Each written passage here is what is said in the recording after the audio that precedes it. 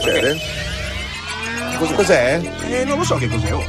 Ah, ho capito cos'è. Le coordinate, che è? Eh, Buongiorno! buongiorno un pa. Buongiorno. buongiorno. Cioè, figlio di, ma è possibile? Oggi sei proprio tutto il giorno qua? Non mi volete? Me ne vado? Eh, anche, insomma, anche sì. Come anche sì? No, non è che noi non ti vogliamo, sono gli accupipini che non ti vogliono. Non è vero, mandano sempre sms. No, no, c'è solo Carini. Priscilla che adesso vuole Questa venirti a conoscere, Odia, mi odia.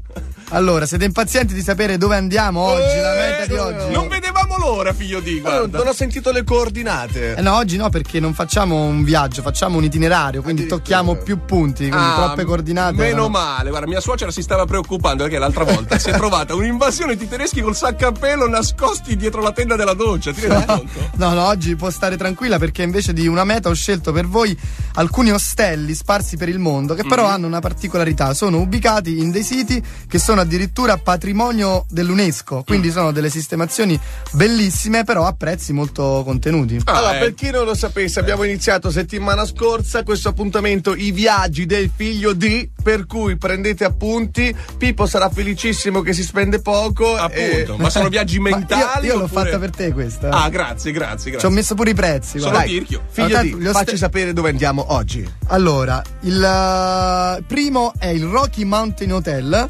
Sta a Petra in Giordania, che è Bellissimo. uno, sì, è uno dei siti UNESCO più visitati al mondo. Si può stare proprio in centro città e però c'hai tutta la vista sulle montagne circostanti che al tramonto sono bellissime perché ci sono dei giochi di luci creati dal sole. Mm. Quindi Costa, mattina fanno schifo, devi andare al tramonto. Esatto, Ok. e costa, pensa, solo 21 euro. Peccato che costa 1500 il viaggio. No, Eh vabbè, che eh, c'entra. ho capito, quando stai lì però 21 euro. Tra l'altro poi gli ostelli prima erano delle cose insomma un po' così spartane, adesso molti ostelli sono delle cose eh, com- come, come degli hotel, non è più così, quindi... Certo. Poi se andiamo in Spagna invece a Granada ci sono gli appartamentos Montes Carlos che si trovano proprio nel quartiere Sacromonte, lo conosci? Ecco qua a Roma, scusa. È come Montesacro, è, come- è il corrispettivo spagnolo di Montesacro ed hanno la vista direttamente sulla fortezza Alhambra, anzi no, è Ah, Alhambra, la Alhambra. che è la preziosa eredità della secolare dominazione araba e anche questa fortezza Alhambra è stata inserita nella lista dei siti patrimonio dell'umanità addirittura già dal 1984. Bravo. Questo costa un po' di più, 50 euro. Però, eh beh, oh, magari- 50 euro è troppo. Eh, Scusa. vabbè, ma alla, Alhambra. Ah, Però costa meno andare in Spagna, è vero.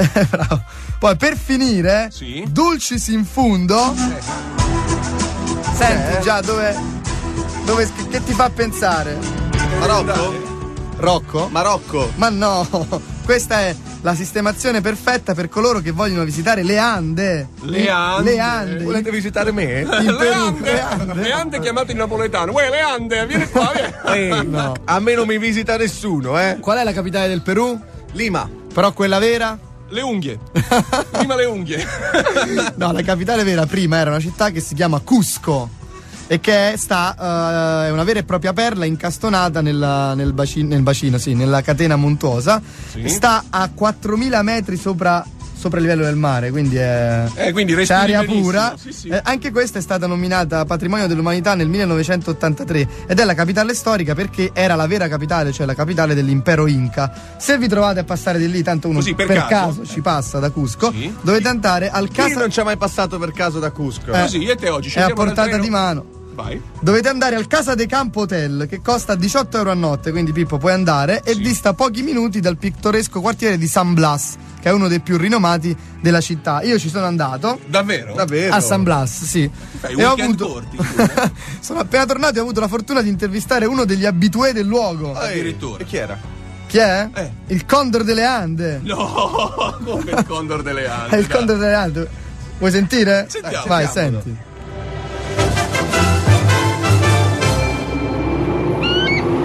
Signor Condor, ma non potevamo fare l'intervista in un posto un po' più comodo? No, scabrones! No, scabrones! Ho capito, ma non è che lei può parlare solo dai 4000 metri in su, eh? Era un po' ubriaco. Vabbè, senta, ma come mai Cusco era stata scelta come capitale dell'impero Inca?